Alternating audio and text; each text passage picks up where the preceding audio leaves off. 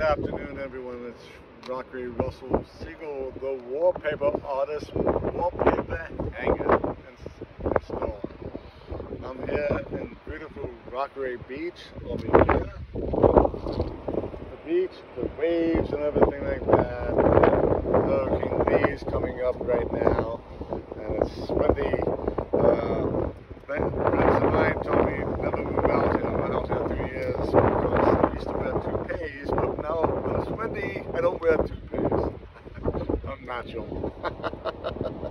Um, so I just want to express, uh, you know, new beginnings, uh, a happy New Year, healthy New Year uh, to all my Jewish friends, and it's a and and all to my non-Jewish friends because the New Year is for everyone.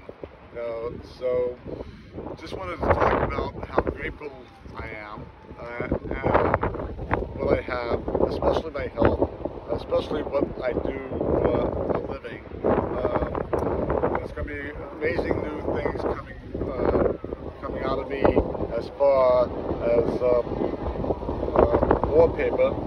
And uh, besides a uh, documentary film that uh, my friend Lil and, and, and myself are doing. And, um, plus um, I'm going to be producing a mural um, myself um, and that a beautiful mural and this has always been my goal for the past uh, four or five years and I want to do it on the beach and that's and on my phone I have a picture of the beach uh, and living out here is so beautiful it's healthy I moved out here over two years ago during uh, uh, the pandemic and it's the best type of living for me and how I evolved and grown as a human being and um, and the people that I met, it's all community and family. And um, and I we have this Jewish word called beshert. beshert means meant to be. So it was meant for me to be out here. I love what I do. I'm third generation um, wallpaper hanger artist. And uh, you know, it's like in the beginning it was rough and everything like that. There's many things that are going to come in the interviews and everything like that, and you learn uh, more about myself, how I came to this uh, part of my career. I'm third generation. I'm doing this, God, almost 45 years, even though I'm 36. Reverse that, I'm 63. um, it's all about how I do things and. Uh, uh, being active and um, I can keep up with the best of them. Um, what I mean by that is that uh, I can keep up and do things and I can, uh, and plus seriously, I over exceeded expectations of my life. And I'm just going to go up and up and up. But you know, um, you know, I love working. I love uh, installing wallpaper art, regardless of what it is, you know, and uh, because I'm creating. I'm creating all the time. I'm thinking all the time how to make the jobs better and better and better and improve and to make it a piece of art, you know. And that's, uh, I'm very blessed, very blessed that I have these hands. You know, um, I've done a lot of things with uh, these hands, and I hung up wallpaper to go down to Washington D.C. over my career. Now, um, I've always been creating uh, throughout my life. I was in the wallpaper union for 43 years. I have my own business for the past 15, 20 years. The wallpaper uh, union, I, I feel very grateful uh, to the union because it gave me everything that I have now with my pension and Social Security, and uh, and we did a lot of nice work. Uh, as far as working for the union, 9/11, um, you know, passed uh, a few days ago, and um, you know, um, I worked in the World Trade Center six days prior to 9/11. Uh, I lost seven Union brothers, and um, you know, it was uh, it was difficult, and I had uh, some friends who uh, who did escape, who did get out. Thank God. Um, that's a story for another time.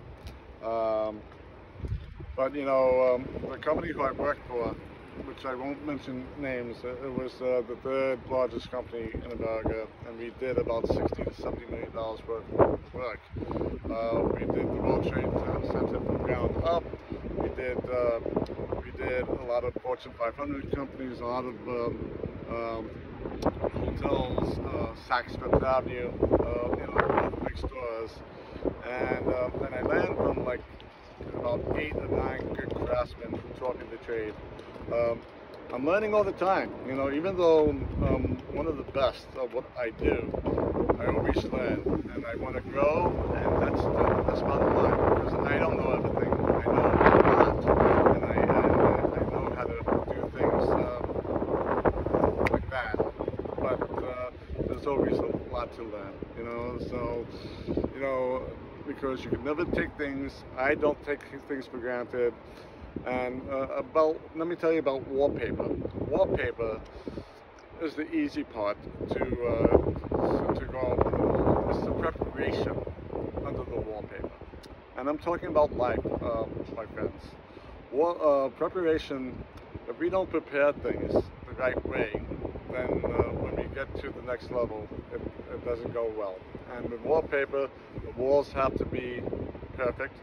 Um, the priming and, uh, and, preparation of the walls. That's what, uh, and we don't do that. Uh, it's not good. As far as as far as uh, the wallpaper table, I have a wallpaper table. It's like three by five, five by five, depending on the size of the wallpaper that um, that I do. Um, if I don't do it right on the wallpaper table, it's like 70, uh, it's like 75% of the job. That's preparation. If I don't cut the wallpaper right, if I don't uh, glue the wallpaper right, and there's many technology, uh, the uh, things to do that we have, uh, that I have to do, and um, so you know, it's all about preparation, you know, and it's uh, and it's like. Um, you know, I, don't know how religious people are, but you know, you talk about uh, preparation for the next world. It's about, to me, yeah, it's about doing good deeds in many ways, like mitzvahs, um, as we call them, and uh, everything comes from my heart. I mean, uh, I was married. I mean, I was I'm saying I was married three times, and my wife, uh, my last wife Denise, passed away almost 10 years ago, and I took care of her, you know, and. Um, I married her when she was ill. She had metastatic breast cancer. And what happened, uh, I knew that she was going to pass away. Uh, friends came up to me and they said, Russell, you're going to have a place in the next world for me. I really don't care about that. You know, I did it because uh, I loved her. Uh, Denise will always be in my heart. Uh, January will be 10 years since she passed away. Since she passed away, my life has uh, really I've been blessed, you know, and she, uh, that's what Denise wanted for me. Uh, Denise told me prior to her death, two months prior to her death, she said, Russell, just take care of yourself. Be happy. Be Simcha. Be, uh, is uh, happiness, regardless of uh, how your day is, uh, how your day is, because um, you're living. I'm living. As long as we're living, there's always hope.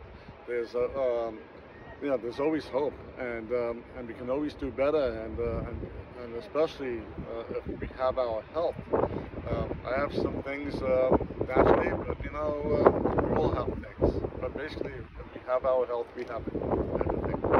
Um, but getting back to uh, uh, the union and everything like that, I um, I was very fortunate to be in the union, and um, and with the union, the, there's a lot of board work. Um, you know, you know, do as much as you can, and that's for the creative side.